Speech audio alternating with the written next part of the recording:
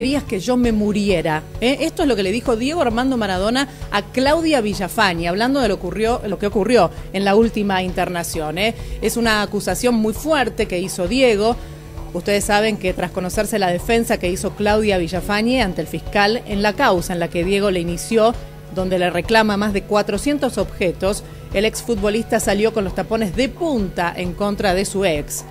En una entrevista con el Diario Popular, como te decíamos recién, Maradona dijo que lo único que le reclama son sus cosas, las que consiguió como jugador transpirando la camiseta. O alguien la vio a Claudia patear un penal, recalcó el 10. En la declaración, Villafañe también habló de las adicciones del astro del fútbol, las infidelidades, los hijos extramatrimoniales y él sostuvo que está diciendo barbaridades porque lo quiere ensuciar. Está claro que es lo único que le queda para darle lástima a la jueza porque ella es una ladrona y una estafadora. Eso le dijo a Claudia Villafañe.